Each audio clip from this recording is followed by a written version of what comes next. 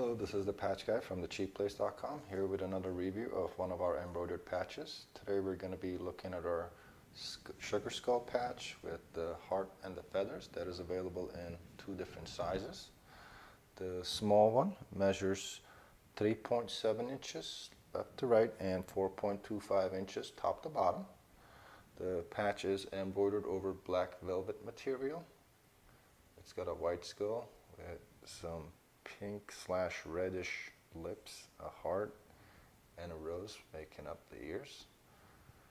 And the patch's got plastic iron-on backing on the back of it, which makes them easy for them to be heat pressed onto denim shirts. And embroidered and laser cut black borders all around it, which makes them easy to be sewn onto leather jackets or vests.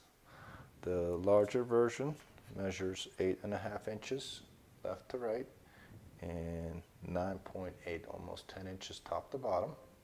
Again, it is embroidered over black velvet material and features nice black laser cut borders and plastic iron on backing.